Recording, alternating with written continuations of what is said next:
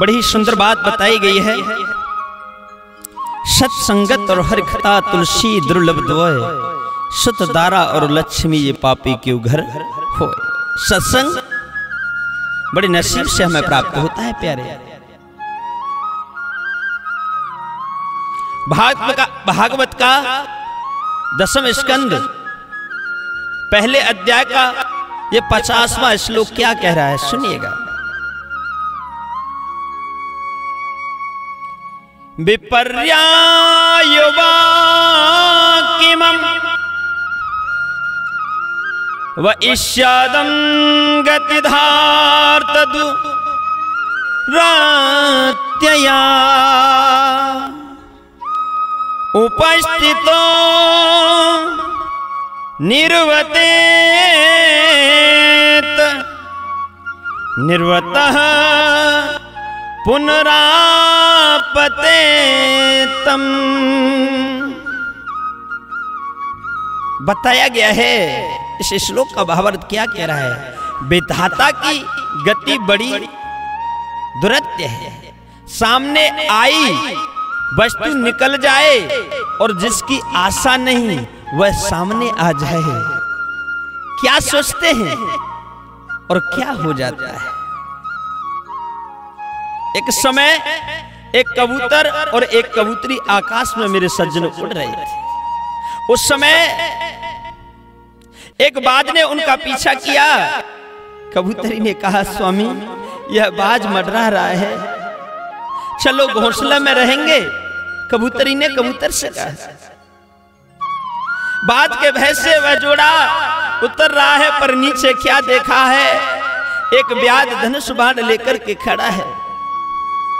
इस जोड़े को मार करके अपने कुटुंब का पालन करे। कबूतरी ने ब्याज को देखकर बोली, स्वामी, हमारा अंत काल आ गया है। देखिए, यह बाज ऊपर मडरा रहा है और यह ब्याज नीचे कड़ा है। अब कहा जाए हम? अब बचने वाले नहीं है। उसी समय एक सर्प निकल करके आया और उसने ब्याज को डस लिया। मेरे सज्जनों प्रभु ही बचाने वाला है। ब्याज का निशान चूक गया। तीर ऊपर उड़ते हुए बाज में लगा। इस इस प्रकार से मेरे सज्जनों, ब्याज भी मर गया। और बाज भी मर गया। वह जोड़ा सकुशल अपने घर है कभी नहीं।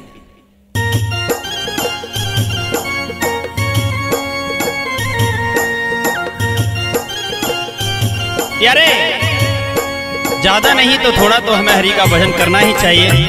ये हमारा कर्तव्य है। चलो 24 घंटे में से भगवान ने इतनी छूट दी है कि कम से कम हमें पाँच मिनट हरि का भजन करना चाहिए। लेकिन क्या बताया जाए इंसान? कौन समझाए तुझे?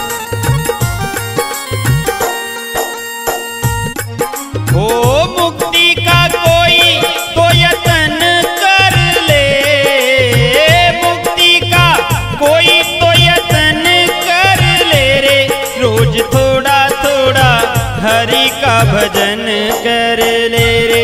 रोज थोड़ा थोड़ा हरि का भजन कर ले।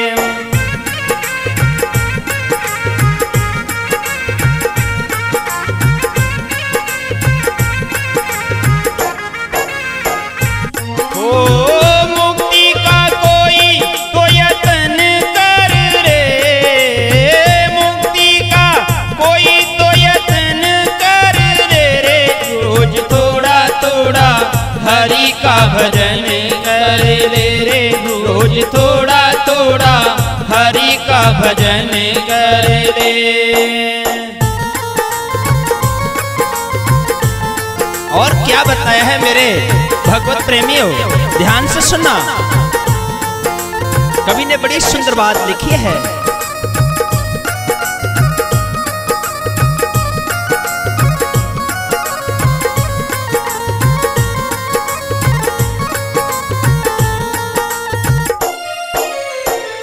भक्ति करेगा तो बड़ा ही सुख पाएगा।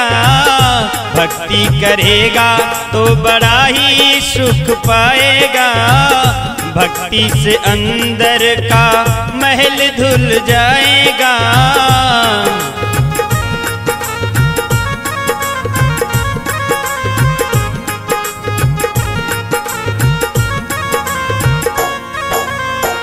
आत्मा के साथ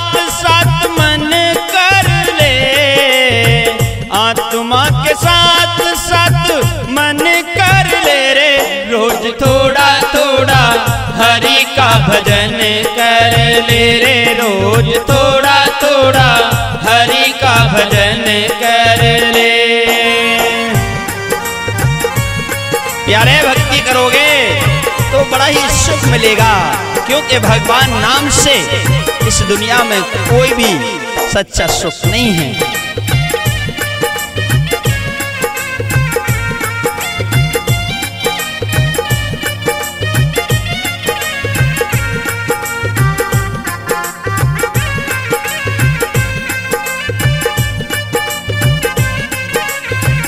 और क्या? अरे संगत कर अच्छे लोगों की, संगत कर अच्छे लोगों की दवा मिल जाएगी सभी रोगों की।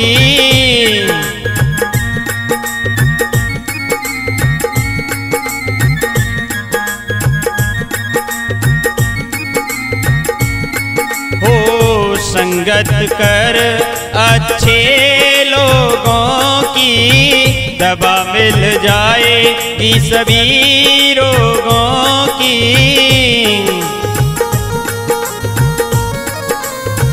यारे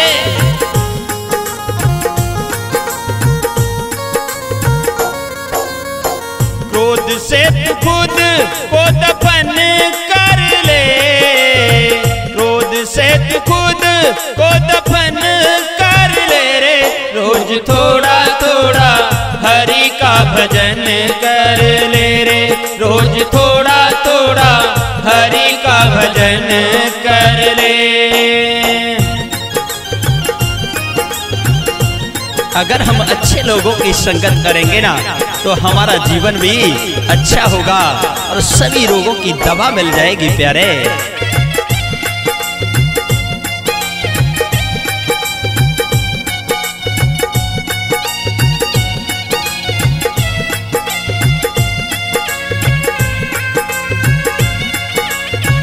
और क्या?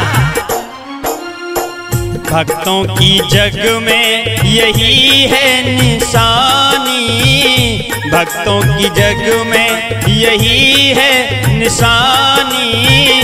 सत्य वचन और मीठी बाणी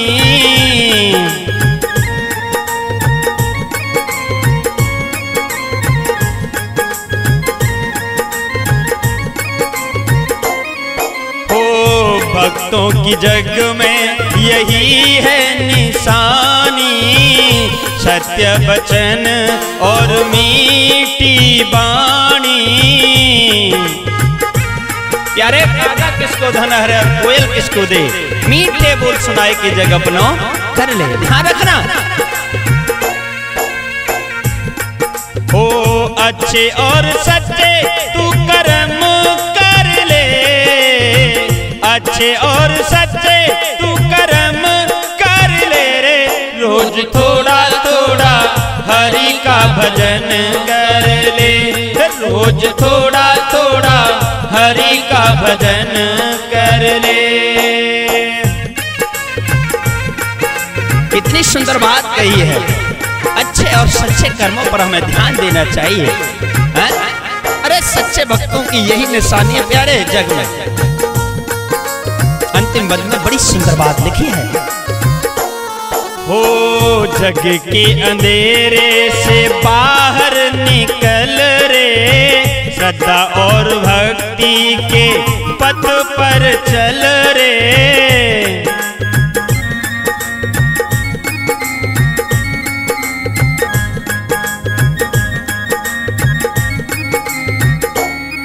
हो जग के अंधेरे बाहर निकल रे। श्रद्धा और भक्ति के पथ पर चल रे।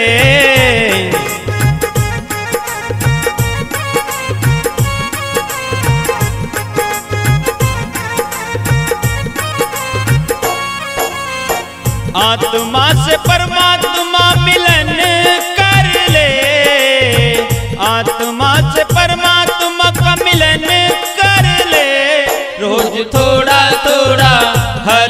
भजन कर ले। रोज थोड़ा थोड़ा हरि का भजन कर ले। हो, मुक्ति का कोई तो यतन कर ले। मुक्ति का कोई तो यतन कर ले रे। रोज थोड़ा थोड़ा हरि का भजन कर ले। रोज थोड़ा थोड़ा हरि का भजन कर ले।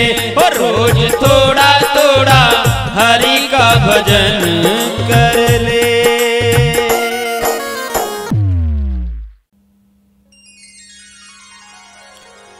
हाँ तो आइए मेरे भक्त प्रेमियों। इस संगीत और सत्संग के महापर्व में बड़ी ही सुंदर बात बताई गई है।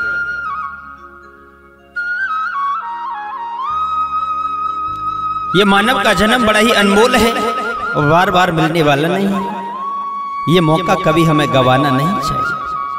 क्या बताया? है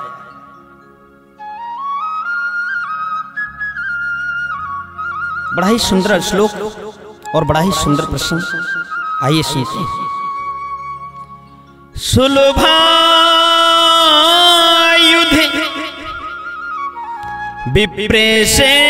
हय निवृत्ता स्तन्न तु जयः। न तथा तीर्थ आयाते श्रद्धयाय ये धनंत्यजः मेरे भगवत प्रेमियों, ये भागवत माँ, बहुत सुंदर श्लोक है। आठवें स्कंद, बीसवें अध्याय का ये नौवा श्लोक है। कहते हैं, जिस समय बलि महाराज को शुक्र जी गृह नीति बता रहे थे, उस समय बलि राजा ने दान की महिमा का वर्णन करते हुए कहा, गुरुजी, ऐसे लोग संसार में बहुत हैं जो युद्ध में पीठ दिखाकर और अपने प्राणों की आहुति दे देते हैं। परंतु ऐसे लोग बहुत दुर्लभ हैं जो सत्पात्र मिलने पर धन का दान करें। राजा बलि ने कितनी सुंदर बात कही मेरे प्यारे, सुनिएगा।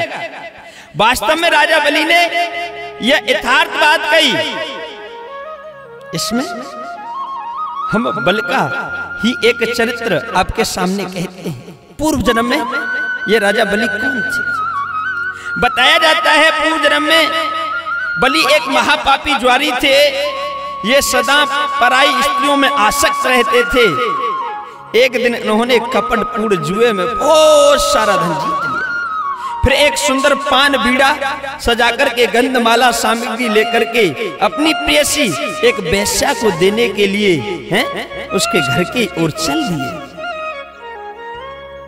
रास्ते में पैर लड़खड़ा गए, पृथ्वी पर गिर गए। कुछ समय बाद जब होश आया, तब तत्पश्चात खड़े हुए वस्तुओं को लेकर के क्या करते हैं कि उन्हें शिवजी पर चढ़ा देते हैं। यह कोई पूर्व पुण्य था जो ऐसी बुद्धि हो गई, जीवन में केवल एक ही पुण्य किया, लेकिन मरने के बाद जब यमराज की सभा में पहुँचे राज्य सभा में पहुँचे तो यमराज ने इनको फटकार दिया। अरे मूर्ख तूने अपने जीवन में पाप कर्म के कारण नरक का भोग होने का निश्चय कर लिया इसलिए तू जा नरक भोगेगा। तब उसने कहा महाराज मेरा आ, कोई भी पुण्य हो उसका विचार करिए। यमराज ने देखा भाई तेरा एक पुण्य है। तूने ज़मीन पर पड़े गंध पुष्प भगवान शंकर पर चढ़ाए हैं। इस पुण्य फल से तुझे सिर्फ़ तीन घड़ी के लिए इंद्रासन मिले। तुझे तीन घड़ी के लिए इंद्रासन मिलेगा अब तो मेरे सज्जनों, इतना कहा, प्रभु, तब तो पहले मैं अपने पुण्य के फल को भोगना चाहता हूँ। उस ज्वारी को यमराज ने तीन घड़ी के लिए इंद्रासन पर बिठा दिया महाराज। जब तीन घड़ी के लिए इंद्रासन पर बिठा दिया अब तो इधर में बृहस्पति जी तीन घड़ी के लिए देवराज इंद्र को अपने साथ में लेकर के घूमने के लिए चले। ज्वारी ने इंद्र पर, इंद्र सन पर यानी इंद्र के आसन पर बैठते ही उसने देना प्रारंभ कर दिया। अगस्त जी को ऐरावत हाथी दे दिया। विश्वामित्र जी को उच्च घोड़ा दे दिया। ज्वारी ने कामधेन गाय वशिष्ठ जी को दे दी चिंतामणि, रतन गावल, ऋषि को दे दिया, तेजस्वी, यानी सभी ऋषियों को अलग अलग उसने अपना कल वृक्ष आदि सब कुछ दान कर दिया। तीन घड़ी के बाद स्वर्ग से वो चला गया। इधर में इंद्र देवता लौट करके आए इंद्रदेव ने देखा, अरे, गुरुदेव मेरा यहाँ ना एरावत हाथी है, ना कलब वृक्ष है, ये सारी वस्तुएँ कहाँ चली गई?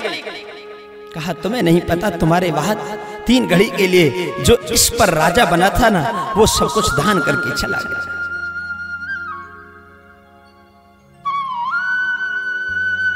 इधर में जब राजा एक बार जो इंद्र थे यमराज के पास में गए और बोले, आपने एक ज्वारी को मेरे सिंहासन पर कैसे बिठा दिया? यमराज ने कहा, इंद्र, तुम बड़े हो मूर्ख हो।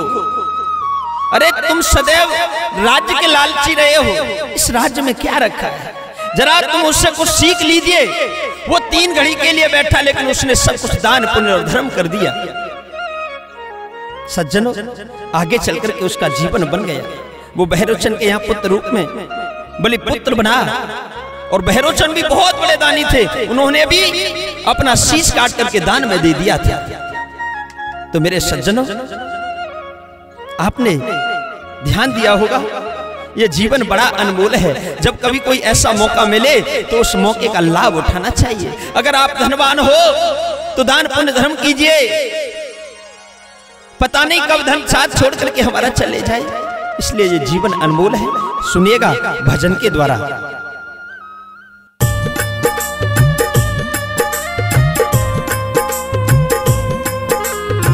हाथ तो लीजिए मेरे भजनों के प्रेमियों। ये मानस जन्म बड़ा ही अनमोल है। इसे यूँ ही हमें गवाना नहीं है। हाँ जरा ध्यान रखना है। कितनी सुंदर बात लिखी है कभी नहीं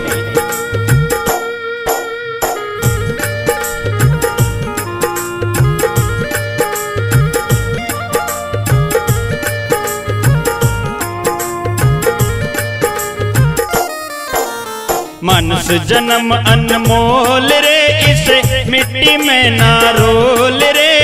अब तो मिला है, फिर न मिलेगा, कभी नहीं कभी नहीं कभी नहीं रे।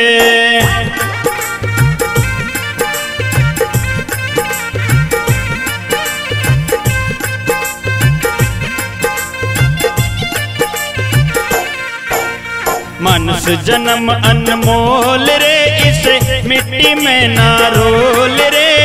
अब तो मिला है, फिर न मिलेगा। कभी नहीं कभी नहीं कभी नहीं रे। क्या पता फिर किसी योनि में जाए प्यारे हाँ?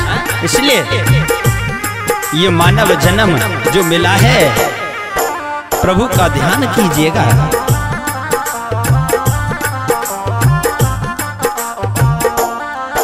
अरे तू सत्संग में आया कर, गीत प्रभु के गाया कर।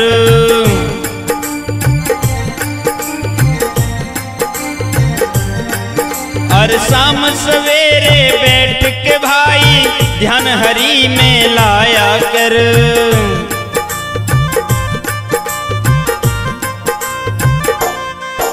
अरे तू सत्संग में आया कर गीत प्रभु के गाया कर।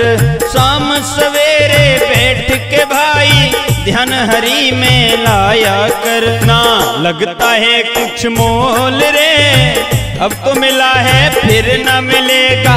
कभी नहीं कभी नहीं कभी नहीं रे। मनुष्य जन्म अनमोल रे, इसे मिट्टी में ना रे अब तो मिला है, फिर न मिलेगा। कभी नहीं कभी नहीं कभी नहीं रे।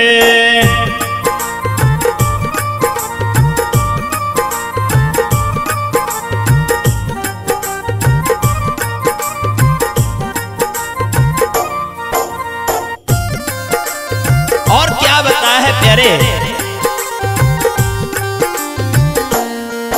और तू है बुलबुला पानी का मत कर नाज जवानी का।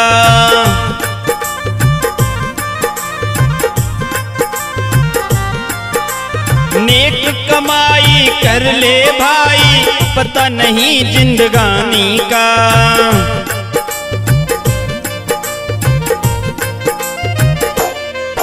और तू है बुलबुला पानी का मत कर नाच जवानी का। निक कमाई कर ले भाई, पता नहीं जिंदगानी का। मीठा सबसे बोल रे, अब तो मिला है फिर न मिलेगा। कभी नहीं कभी नहीं कभी नहीं रे। मनुष्य जन्म अनमोल रे, इस मिट्टी में ना रोल रे।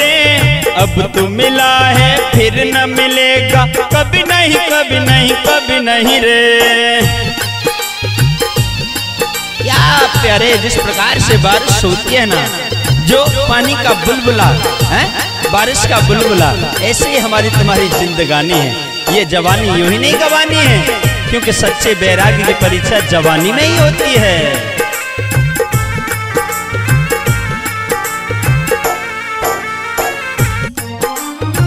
मतलब का संसार है, इसका ना इतवार है।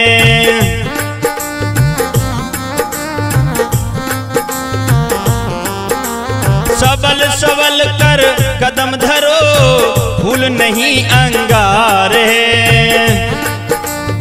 यारे, सोचिएगा। मतलब का संसार है इसका ना इतवार है। सबल सबल कर कदम धरो, भूल नहीं अंगार है। मन की अखियाँ खोल रे, अब तो मिला है फिर न मिलेगा। कभी नहीं कभी नहीं कभी नहीं रे। मनुष्य जन्म अनमोल रे, इसे मिट्टी में ना रोल रे। अब तो मिला है फिर न मिलेगा। कभी नहीं, कभी नहीं कभी नहीं रे। मनुष्य जन्म अनमोल रे, इसे मिट्टी में ना रोल रे। अब तो मिला है, फिर न मिलेगा। कभी नहीं कभी नहीं कभी नहीं रे। कभी नहीं कभी नहीं कभी नहीं रे। कभी नहीं कभी नहीं कभी नहीं रे।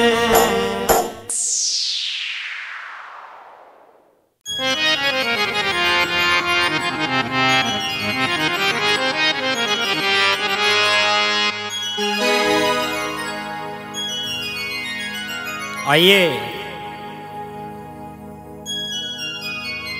गौर करते हैं इस संगीत और सत्संग के महासंगम में। बड़ी सुंदर बात कवि ने लिखी है, कलम को उठाया। देखिए, जो मृत्यु है, वो किसी ना किसी बहाने से आती है। कहते हैं ना कि मौत बहाना चाहती है। बताया जाता है कि एक बार राजा विक्रमादित्य जंगल में आखेट करने के लिए गए। जब जंगल में आखेट करने के लिए गए तो उनके दो सिपाही थे। उन्हें कहीं भी कोई शिकार नहीं मिली। जब लौट करके वापस आने लगे तो उन्होंने अपने दोनों सिपाहियों को एक कुएँ पर बावरी पर जल लेने के लिए भेजा। लेकिन उन सिपाहियों ने एक औरत के रोने का रोधन सुना। वो बिलाप कर रही थी, आज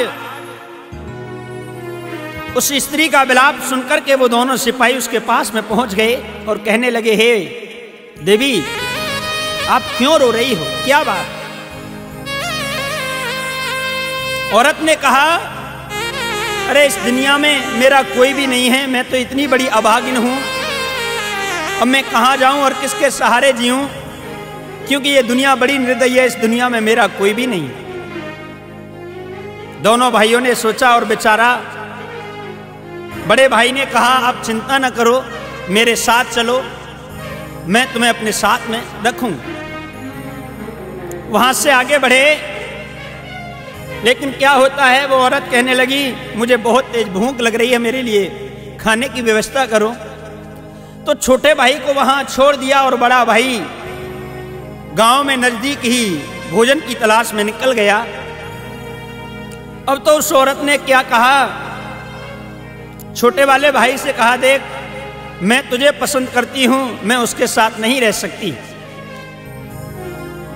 छोटे भाई ने कहा, नहीं, आप तो मेरी माँ के समान हो, मेरी भाभी हो, मैं तुम्हें कभी इस दृष्टि से नहीं देख सकता। बार बार मना किया, लेकिन वो औरत नहीं मानी। अंत में छोटा भाई विवश हो गया, उसने मना कर दिया, मैं तुम्हें कभी स्वीकार नहीं करूँगा। तो उसने अपना क्रिया चरित्र दिखाया, सारे वस्त्र और फाड़ लिए, आभूषण इधर उधर कर दिए। जैसे ही बड़ा भाई लौट करके आया चिल्ला चिल्ला करके कहने लगी, अरे, तुम्हारे छोटे भाई ने तो मेरा अपमान कर दिया, मेरी इज़्ज़त लूट ली। इधर में क्या होता है, दोनों भाइयों में झगड़ा हुआ, दोनों पर तलवार थी और आपस में दोनों मर गए। इधर में वो औरत क्या करती है कि रीछ बन गई। क्या बन गई? रीछ बन गई। लेकिन राजा विक्रमादित्य पीछा करता हुआ चले आ रहे थे।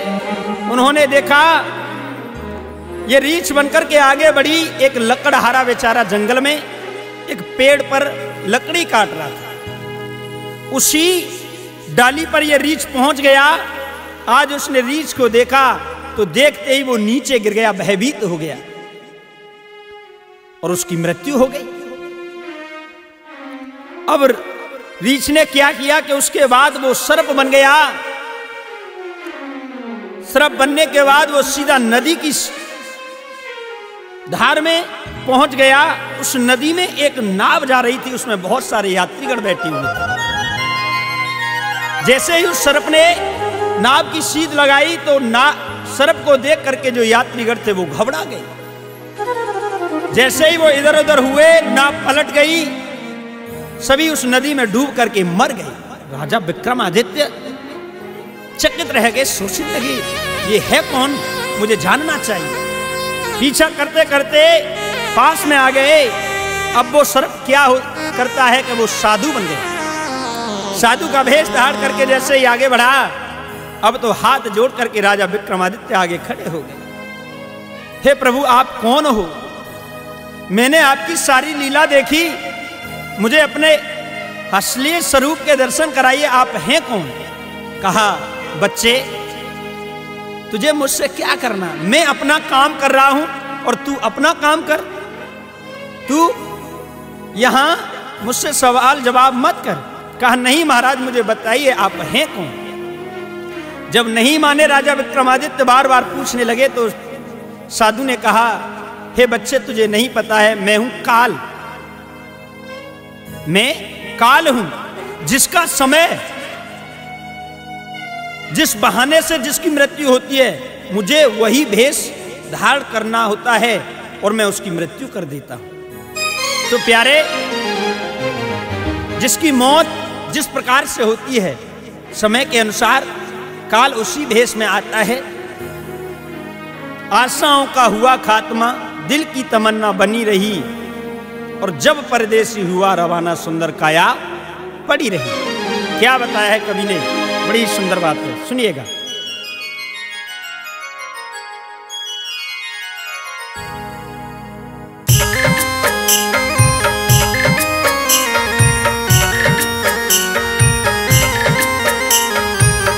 बताया है प्यारे, मन मरान माया मरी और मर मर गया शरीर। आशा कृष्णा ना मरी, यूँ कह गया कवि। जाना तो एक दिन सबको है। और कैसे?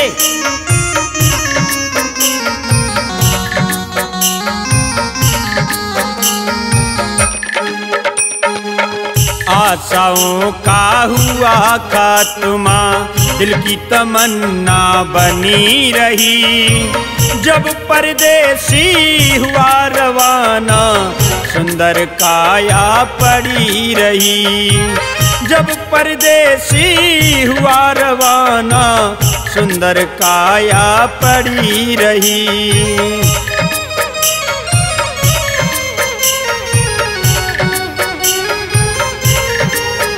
प्यारे, जिस प्रकार से हम पुराने वस्त्र उतार करके नए वस्त्र धारण कर लेते हैं, उसी प्रकार से ये आत्मा भी एक शरीर को छोड़ करके दूसरे शरीर में चली जाती है। आशाओं का हुआ खात्मा, दिल की तमन्ना बनी रही। आशाओं का हुआ खात्मा, दिल की तमन्ना बनी रही।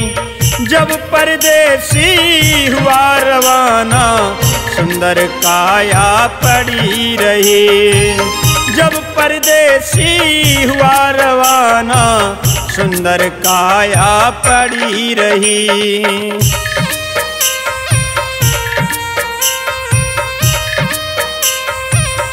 क्या बताया है?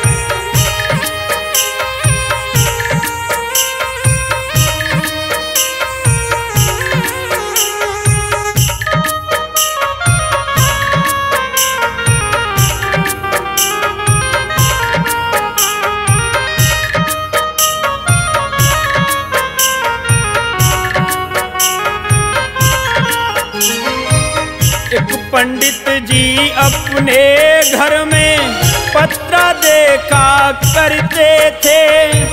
जन्म मरण के जन्म कुंडली लेखा जोखा करते थे। जन्म मरण के जन्म कुंडली लेखा जोखा करते थे। जब मरने का टाइम आया, जब मरने का टाइम आया, पोती उनकी धरी रही।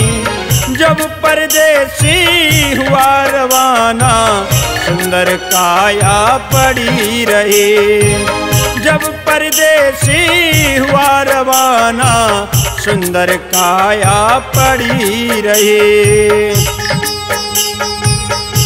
प्यारे जो समय को देखते हैं, उनको खुद अपने समय की नहीं पता है कि हमें कब जाना है। वो पोती पत्ता पंडित जी की धरी रह गई, और क्या बताया है?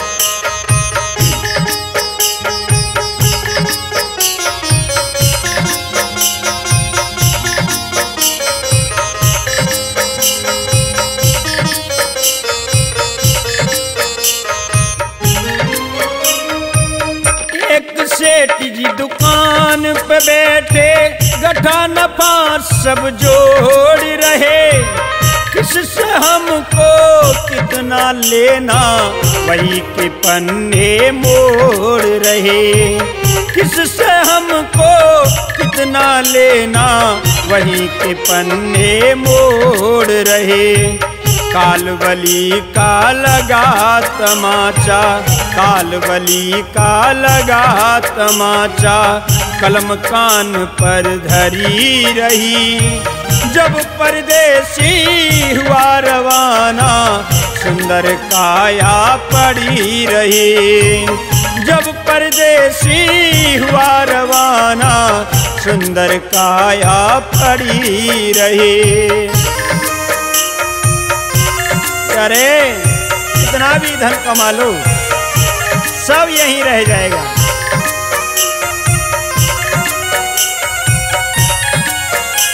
कमा ले हीरा चाहे मोती, कफन में जेब नहीं होती।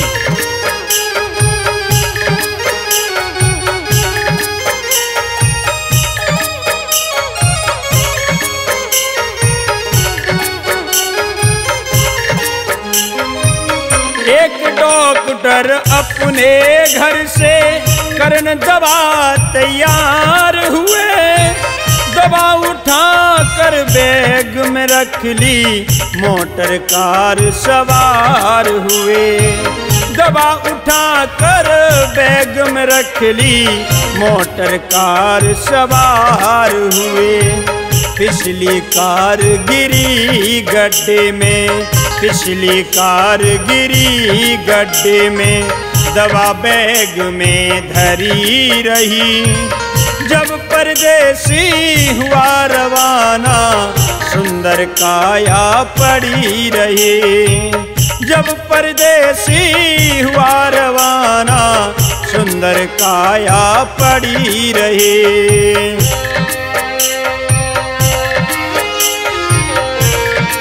प्यारे, जो दूसरों को दवा देने वाले हैं, वो भी खुद, हैं? अपने पास दबा होते हुए अपनी जान बचा नहीं पाते। समय बड़ा बलवान है।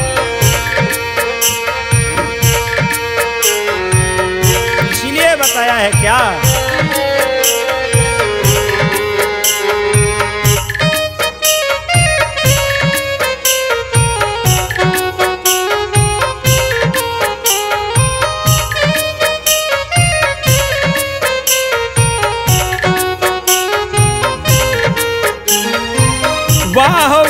वाह रे क्या कहूँ भाई? ईश्वर की है यही गति। जिसको जिस टाइम है जाना फ़र्क न होगा एक रति। जिसको जिस टाइम है जाना फ़र्क न होगा एक रति। जिसने प्रभु का ध्यान किया है जिसने हर का नाम लिया है, उसकी कमाई खरी रही। जब परदेसी हुआ रवाना, सुंदर काया पड़ी रही। आशाओं का हुआ खात्मा, दिल की तमन्ना बनी रही। जब परदेसी हुआ रवाना, सुंदर काया पड़ी रही। जब परदेसी हुआ रवाना, सुंदर काया पड़ी रही। जब परदेसी हुआ रवाना, सुंदर काया पड़ी रही।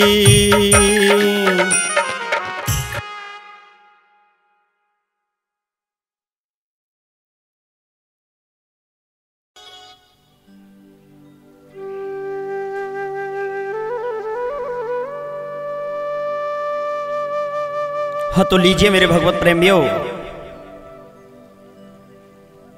इस संगीत और सत्संग की दुनिया में आपके लिए प्यार भरा नमस्कार। रोने से कुछ नहीं होने वाला प्यारे। हम मुट्ठी बाँध करके आए थे और मुट्ठी बाँध करके ही जाएँगे। हाथ पसार के जाएँगे। ना कुछ लेकर के आए थे और ना कुछ लेकर के जाएँगे। हमारी साधना प्राय सुनिएगा ध्यान से प्यारे, प्राय हम जितना भजन भगवान का करते हैं, उससे कई गुना अधिक संसार का भजन करते हैं। अब आप सोच रहे होंगे कि संसार का भजन कौन सा होता है?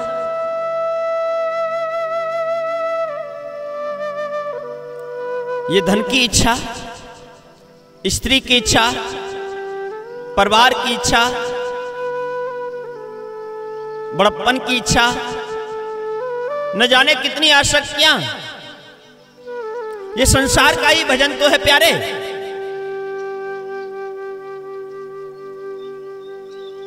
हम जितनी इच्छा भगवान को पाने की करते हैं, उससे कई गुना अधिक हम इच्छा संसार को पाने की करते हैं, प्यारे। हम जितनी दास्ता भगवान की स्वीकार करते हैं, उससे कई गुना अधिक दास्ता अपनी इंद्रियों को सांसारिक भोगों के लिए करते हैं। हुँ? रात्रि में सो जाते हैं। हमारी इंद्रियाँ हमें विचलित करते हैं। संसार के भोगों के लिए हम कितना चिंतन करते हैं, कितना ध्यान करते हैं। चार पाई पर पड़े होंगे, लेकिन फिर भी रोगी होंगे, लेकिन फिर भी हम भोगों का चिंतन करते रहते हैं। जरा सोचिएगा प्यारे।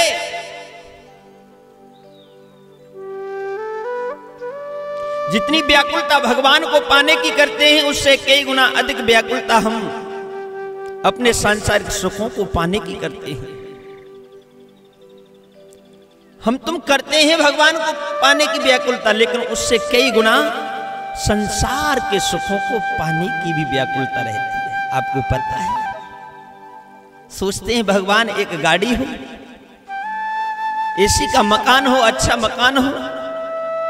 दिल्ली में प्लॉट हो। बेटी की शादी हो जाए, बेटा की शादी हो जाए। मेरे पास बहुत सारा धन हो, सारी व्यवस्थाएँ हो। ये हम सोचते हैं। इस व्याकुलता में हम हमेशा रहते हैं। जब तक हमारी प्राथमिकता, यानी भगवान की अपेक्षा ये नश्वर देह और संसार है, वस्तुतः हम सच्चे साधक नहीं हो सकते। अगर सच्चे साधक बनना है तो प्यारे, इस मोह माया को त्यागना होगा इन विषय वासनाओं को त्यागना होगा वृंदावन की वृक्ष को मरम न जाने को। डाल डाल और पात पे श्री राधे राधे हो। न जाने कितनी बार हम वृंदावन में गए, लेकिन आज तक हमें वो वृक्ष नहीं मिला, जिसकी डाल डाल पर पात पात पर सी राधे राधे होती है।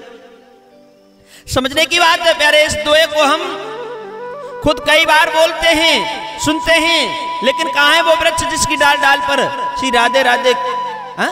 वृंदावन में कहा है? किस जगह है? लेकिन प्यारे, समझने की बात है, वो वृंदावन में नहीं है, वो हरिद्वार में नहीं है, वो नासिक में नहीं है, वो उज्जैन में नहीं है, वो पेड़ क्या है और कहाँ है? वो पेड़ हमारा तुम्हारा शरीर है, इस शरीर हुँ? हर एक इंद्री पर, हा? हर एक श्वास पर राधे का नाम लेना है हमें तभी ये भव बाधाएँ कटेंगी तभी, हा? रोने से छुटकारा मिलेगा आइए इस भजन के द्वारा सुनते हैं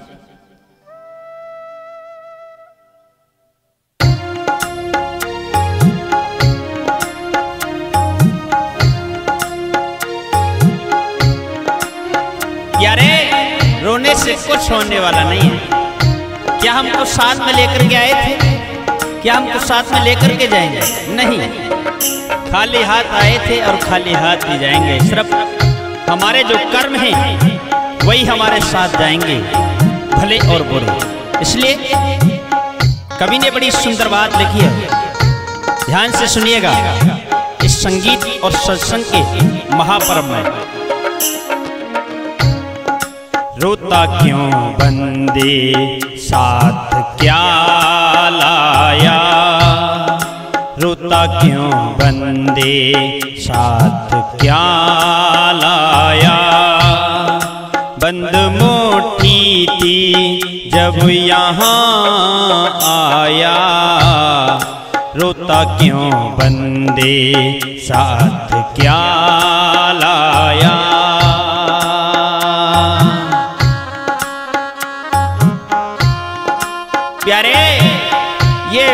मुट्ठी जो है बंद ही जाएगी।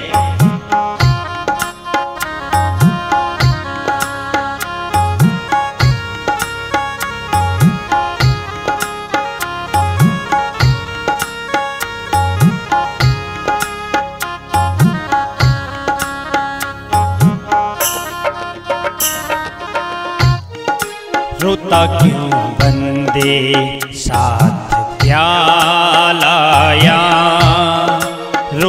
क्यों बंदे? साथ क्या लाया?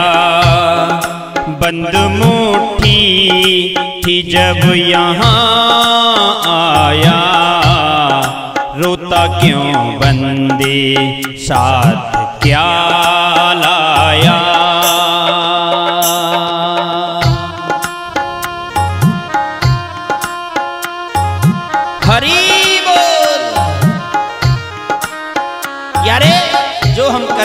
लेखा जोखा हाँ? सब डाटा मेरे ठाकुर के यहाँ है। इसलिए ये मत सोचना कि हम दुनिया वालों को पागल बना सकते हैं, लेकिन उस ठाकुर को नहीं, प्रभु को नहीं।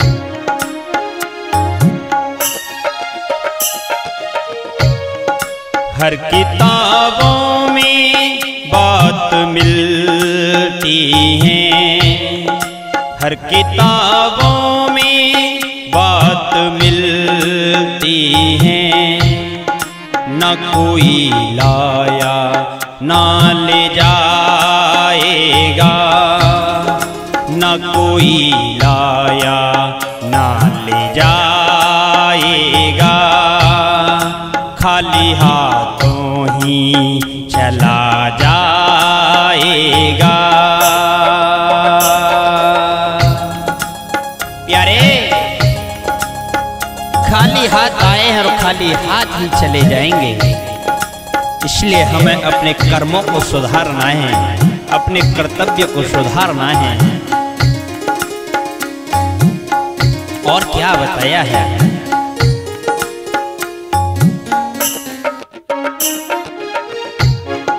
ये जहाँ श्रम है बात पक्की है, ये जहाँ भ्रम बात पक्की है, जो यही भूला धोखा खाएगा। जो यही भूला धोखा खाएगा। एक दिन यूँ ही चला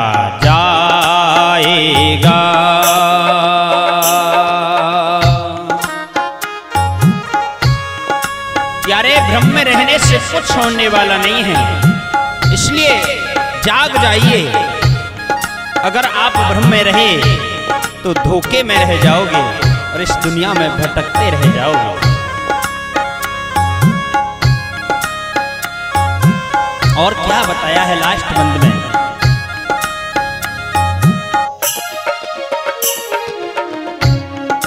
उम्र सारी है बातों में। उम्र सारी गई है बातों में। बाकी काटी है तू निरातों में। सोच ले बंदे, हाथ क्या आया? सोच ले बंदे, हाथ क्या मिली माया न बचकाया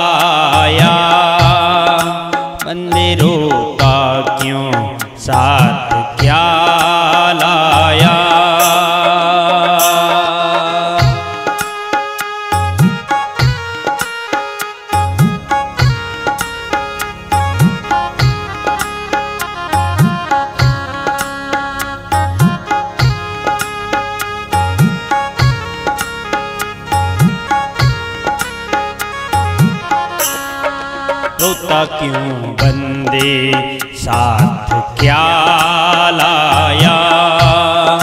रोता क्यों बंदे साथ क्या लाया? बंद मुट्ठी थी जब यहाँ आया। रोता क्यों बंदे साथ क्या लाया? रोता क्यों बंदे साथ क्या लाया? रोता क्यों बंदे? साथ क्या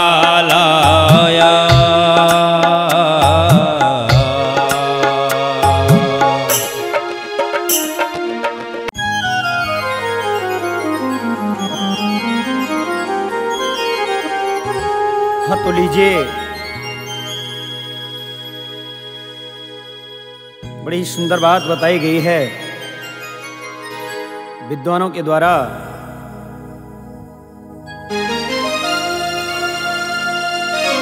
हम तुम मोह माया में फंसे हुए पड़े हैं। ये मेरा बेटा, ये मेरी बेटी, ये मेरा भाई, ये धन दौलत, लेकिन सब कुछ यहीं रह जाएगा, कुछ साथ में जाने वाला नहीं है, प्यारे। क्योंकि हमारे जो दत्तात्रेय थे ना उन्होंने 24 गुरु बनाए। बताया गया है कि उन्होंने एक कबूतर और कबूतरी को भी गुरु बनाया। गौर कीजिएगा कि एक कबूतर और कबूतरी का बड़ा ही सुंदर जोड़ा एक जंगल में एक वृक्ष पर रहा करता था मेरे सज्जनों। बड़ा ही प्रेम करते थे आपस में। समय गुजरता गया, उनके जीवन में एक उन्हें पुत्र प्राप्त हुआ। अब दोनों सुबह होते ही अपने बच्चे के लिए दाने की खोज में बाहर चले जाते हैं। शाम को आकर के अपने बच्चे को अपने बड़े प्यार से भोजन खिलाते हैं दाना खिलाते हैं। एक दिन क्या होता है जब इधर में कबूतर और कबूतरी बाहर निकल गए, एक बहेलिया आया, उसने जाल बिछाया, दाना डाला, और बहुत सारे पक्षी उस जाल में फंस गए। ये कबूतर और कबूतरी का बच्चा जब इसने देखा दाना तो ये भी लालच में आ गया। बहुत देर हो गई देखते देखते और इससे भी रुका नहीं गया, ये भी उस जाल में कूद गया और फंस गया। आगे। आगे बताया मेरे सज्जनों को, जब कबूतर और कबूतरी लौट करके आए, उन्हें अपना बच्चा नहीं नज़र आया इधर उधर देखने लगे। बड़े चिंतित होने लगे, लेकिन कबूतरी की नज़र नीचे गई तो उसने देखा कि हमारा बच्चा तो जाल में फंस गया है। कबूतरी रोने लगी, लेकिन कबूतर ने समझाया, अरे क्यों रो रही है? ये रोना धोना बंद कर दे क्या पागल हो गई है? तुझे नहीं पता है अगर हम और तुम रहेंगे तो ये बच्चा तो फिर हमें भगवान की कृपा से मिल जाएगा। इसलिए अब तू शांत हो जा। नाना प्रकार से समझाया, लेकिन वो कबूतरी कहने लगी, मेरी आँखों के सामने मेरा बच्चा काल के मुँह में जा रहा है और मैं देखती रहूँ तो ऐसा कभी मुझसे होगा नहीं। माँ की ममता, आज वो कबूतरी अपने बच्चे को बचाने के लिए कूद गई, लेकिन वो भी उस जाल में फंस गई, मेरे प्यारे। कबूतर देखता रहा, सोचने लगा, मैं क्या करूँ, कहाँ जाऊँ? लेकिन देखिएगा, ये माया कितनी प्रबल होती है। जो कबूतर उपदेश दे रहा था, समझा रहा था कबूतरी को, आज वह भी क्या सोचने लगा। अब मैं अकेला क्या करूँगा जी करके? मेरा बच्चा मर गया, मेरी पत्नी मर गई, और मैं अकेला जी करके क्या करूँगा? अंत में गत्वा सज्जनों, वो भी कूद गया, वो भी जाल में फंस गया, वो भी बचा नहीं पाया।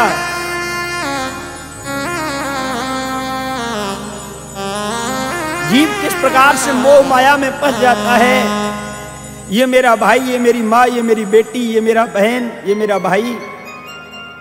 ये झूठे रिश्ते नाते हैं, प्यारे, कोई भी किसी का नहीं है इस संसार में। एक राम का नाम का भजन ही, प्रभु के नाम का भजन ही, हमारा तुम्हारा सच्चा साथी है। और क्या बताया है, इस भजन के द्वारा गौर करिएगा। एक दिन हमें और तुम्हें, ये पुत्र, ये बेटी सभी छोड़ करके चले जाएँगे।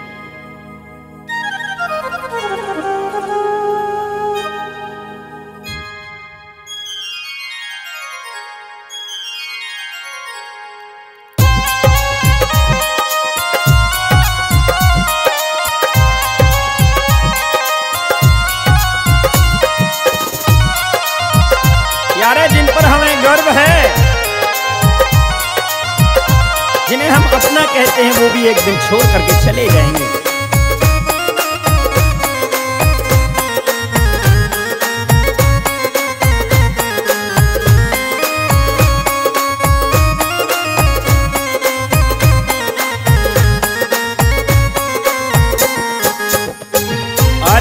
पाले सुआ उड़ जाएँगे कऊ दिन पाले सुआ उड़ जाएँगे।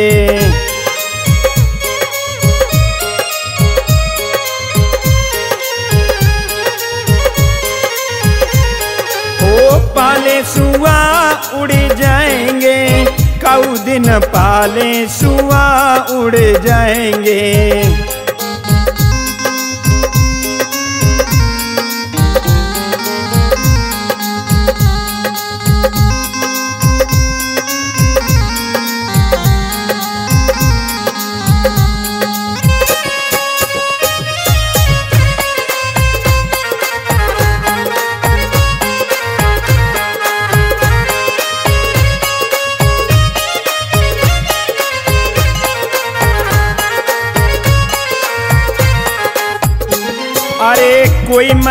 गर्व करो रे बेटन पे।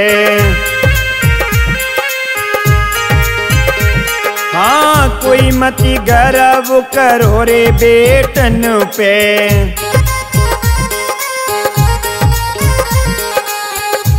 अरे ले बौनियारे हुई जाएँगे काऊ दिन। पाले सुआ उड़ जाएँगे, पाले सुआ उड़ जाएँगे। काऊ दिन पाले सुआ उड़ जाएँगे।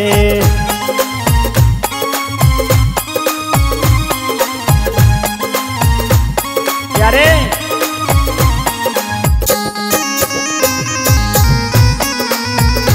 जिसको हम अपना पुत्र कहते हैं, वो भी शादी होने के बाद फिर तुम्हारा पुत्र नहीं रहेगा।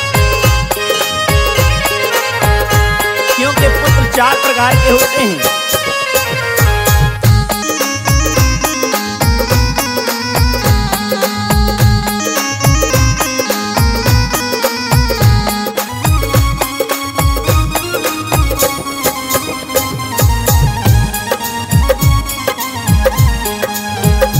अरे कोई मती गर्व करो रे बेटिन पे। कोई मती गर्व करो रे बिटियन पे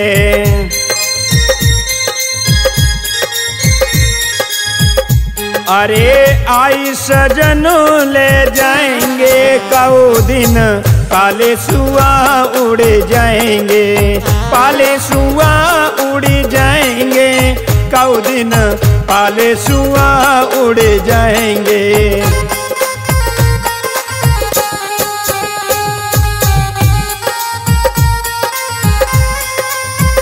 यारे जिनको हम अपनी बेटी बेटी कहते हैं, लेकिन शादी होने के बाद वो भी एक दिन अपनी ससुराल के लिए चली जाएगी।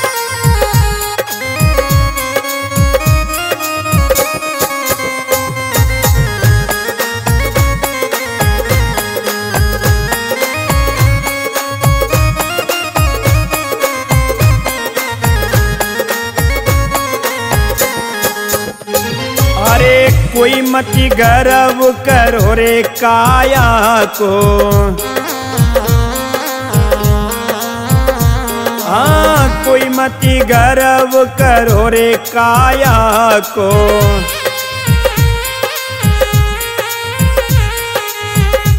अरे अग्नि बीच जल जाएँगे कऊ दिन पाले सुआ उड़ जाएँगे, पाले सुआ उड़ जाएँगे कौ दिन पाले सुआ उड़े जाएँगे। क्या बात है?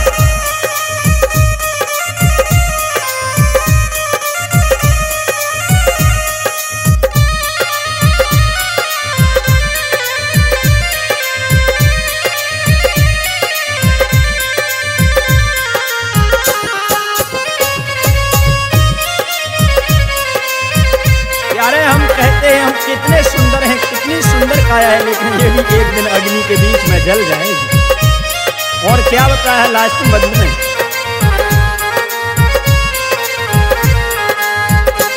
अरे कोई मत गर्व करो रे बाधन को। हाँ कोई मत गर्व करो रे जा धनी को।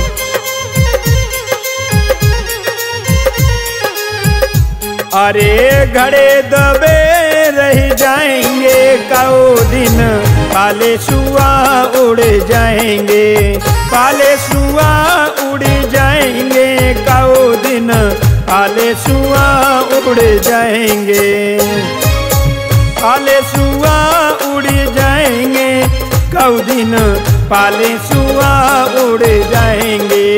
पाले सुआ उड़ जाएँगे। कौ दिन पाले सुआ उड़ जा